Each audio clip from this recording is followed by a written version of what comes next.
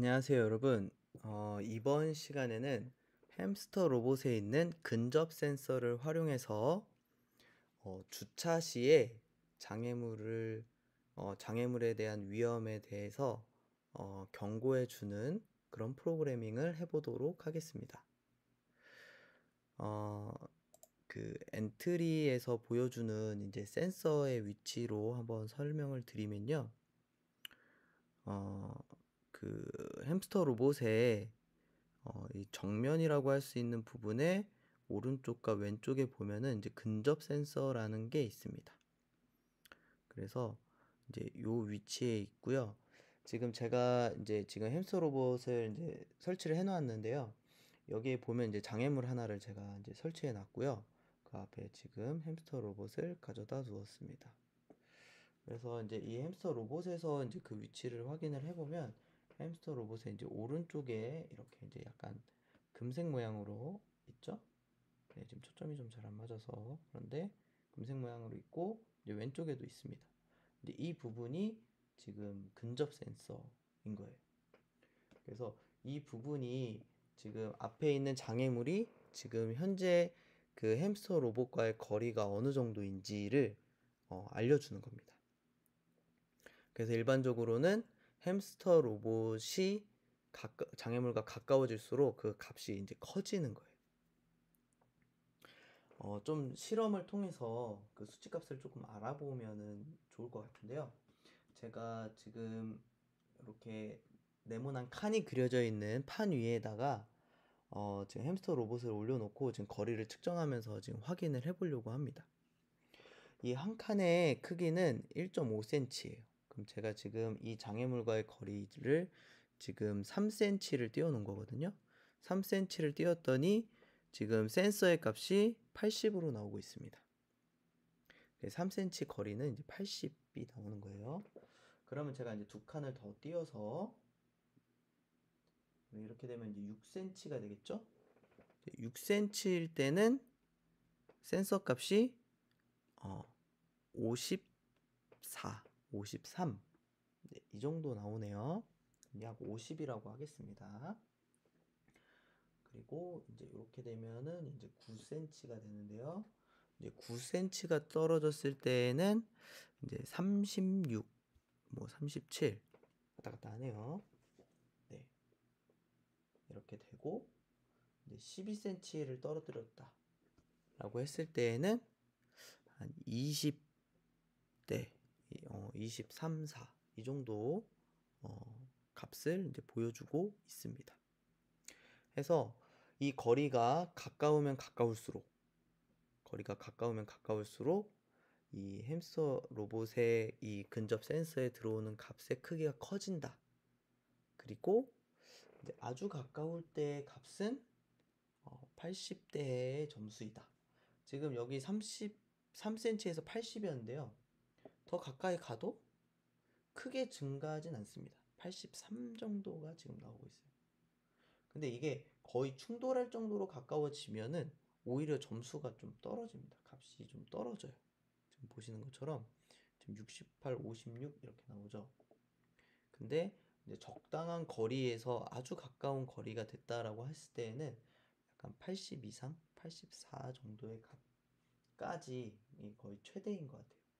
이제 나오고 그래서 한 기준을 한 80으로 잡으면 아 이게 장애물과의 거리가 아주 가까워졌다. 어, 이제는 차량을 멈춰야 한다. 이제 이런 메시지를 표현해도 될그 어, 그 정도 거리라고 생각을 할 수 있을 것 같습니다. 네. 이렇게 해서 우리가 이제 이 센서에 들어오는 값, 거리에 따른 값을 한번 알아보았는데요. 어, 이제 본격적으로 이 로봇이 어, 자동으로 주차를 할 수 있도록 하는 그런 프로그래밍을 해보도록 하겠습니다. 어, 그래서 이제 어떻게 만들 거냐면요. 어, 이 로봇이 자동으로 이제 이동을 하게 됩니다. 이동을 하는데, 어, 가까워지면 가까워질수록 부저의, 부저가 울, 울, 울리는 속도가 더 반복되는 속도가 빠르게 할 거예요. 처음에는 띠, 띠, 띠 이렇게 알림을 주다가 어, 이제 가까워질수록 띠 띠 띠 띠 어 되게 이제 어, 짧은 간격으로 부저를 이제 울려줄 겁니다. 그러면서 차량의 속도를 줄일 거예요. 차량이 더 천천히 움직이게 할 거고 이제 80 이제 아까 이야기했던 그 기준 어, 장애물의 거리가 아주 가까워졌을 때에는 차량이 정지하도록 그렇게 해서 프로그래밍을 해보도록 하겠습니다. 자, 같이 한번 해볼까요? 네, 먼저 사용할 블럭은 네, 흐름에서 계속 반복하기 블럭입니다. 어, 그 여기 있는 하드웨어에서 일단은 속도는 30, 30으로 할 거예요. 30, 30으로 할 거고 이제 조건식을 사용하겠습니다.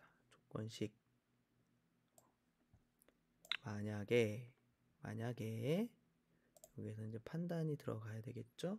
판단이 들어가고 여기에서 이제 비교문을 넣을 겁니다. 여기에 비교문을 넣는데 넣을 때 여기에 이제 여러 센서의 값이 있지만 기본적으로 왼쪽 근접 센서를 이용을 할게요.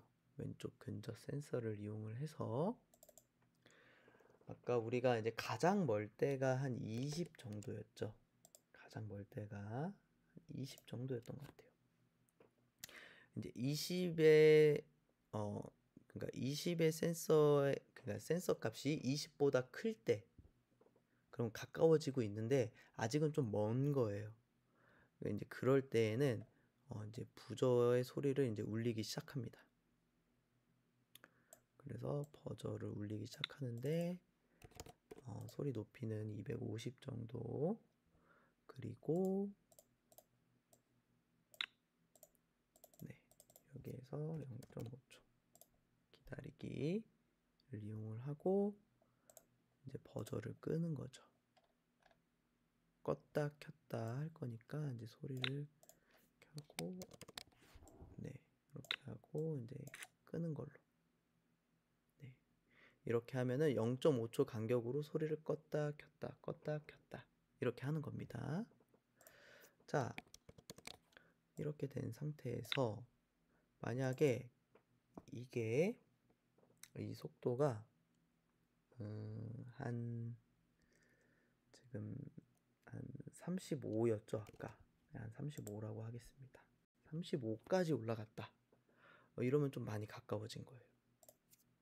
그럴 때에는 많이 가까워졌기 때문에 좀 속도도 좀 줄여야 됩니다. 차량의 속도를.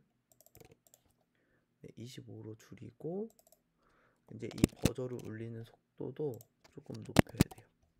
0.3초 간격으로 이렇게 해주고요. 만약에 이제 50보다 커졌다. 어 이러면 진짜 진짜 가, 많이 가까워진 거예요. 그러니까 속도는 더 줄이고 이번엔 더 잦은 간격으로 소리를 띠띠띠띠 이렇게 올려주는 거죠.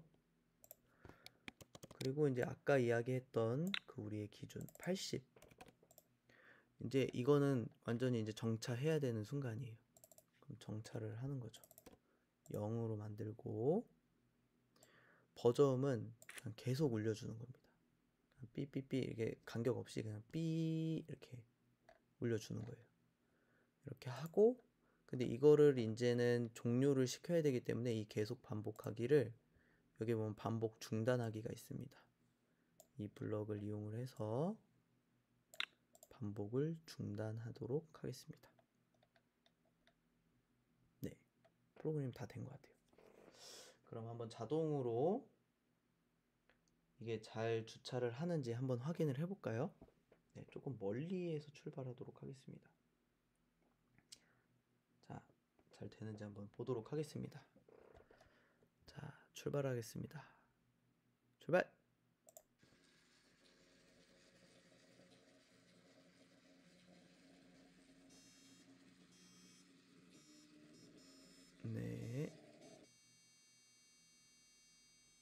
네. 네. 오.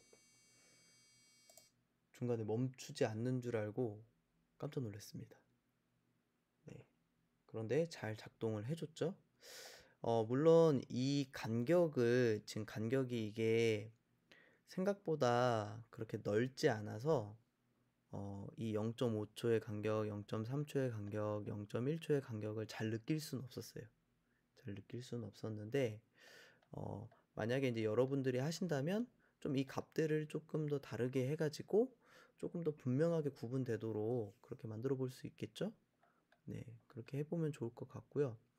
어, 정확하게 이제 80이라는 근접 센서의 값이 출력이 됐을 때 80보다 큰 값, 그러니까 81이 나왔어야겠죠?